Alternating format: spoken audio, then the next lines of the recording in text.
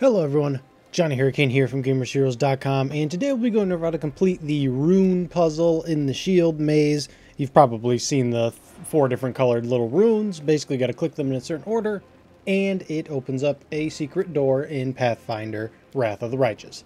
Let's get started. Alright, there's actually a clue earlier in the level, but it's bait. All this is bait. There's four things, you only need to click three of them. So but one of them has to be clicked twice. So basically, if you're trying to do it randomly, you probably messed up because, yeah. But uh, we are going to start with yellow,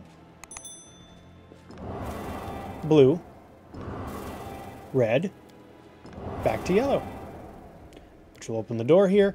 And if you're a paladin, excuse me, you'll get a longsword in here, um, or you can just give it to the, that paladin. I forgot her name, but Either way, it is a plus one Radiant Longsword, which is pretty solid. Uh, can only be equipped by Paladins, though.